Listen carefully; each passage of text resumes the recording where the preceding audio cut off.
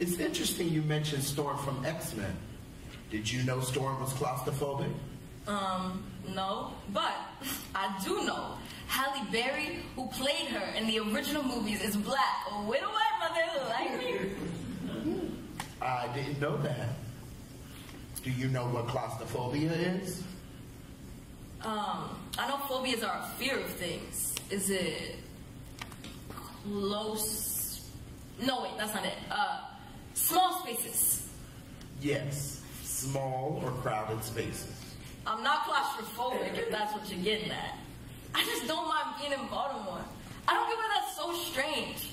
I know it's violent and kind of crazy. I mean, bad things happen here. Bad things have happened to me here, but for me, it's still okay for me to be here. I mean, you went to colleges all over the country, yet here you are, still here in Baltimore with me. Yes, but I don't spend all my time in Baltimore. I leave the city every chance I get.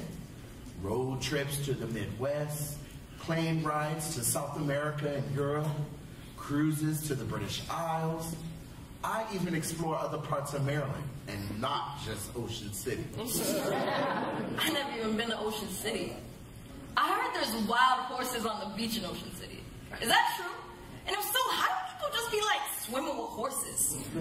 Did you swim with horses? Wait, do horses even swim? Horses do swim, but not in Ocean City. They're on Assateague Island, a ways down from OC. Oh, that's not what I heard.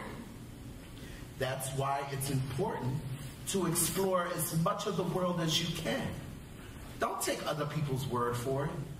Get out there and live a life you've created for yourself.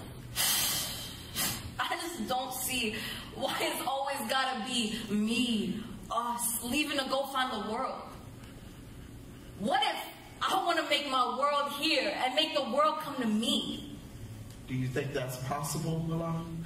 I don't know, but maybe I'll create something so undeniable, so amazing that you can only see it in Baltimore. Like, you can only see the White House in DC or the Empire State Building in New York.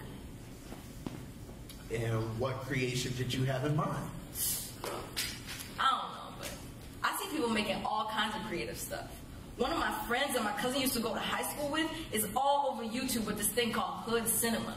He's getting millions of views reviewing really, really old movies, you know, like from the 90s and 2000s.